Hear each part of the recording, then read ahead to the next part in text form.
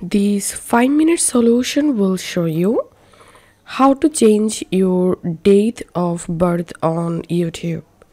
Follow these easy steps to change your date of birth. Open YouTube and click on your profile photo and click on manage your Google account. And now click on personal info and here scroll down under contact info section click on more option. And under basic info section you will get birthday. Click on it. And now here you can easily change your date of birth. After changing make sure to click on save. And this is how we can do it.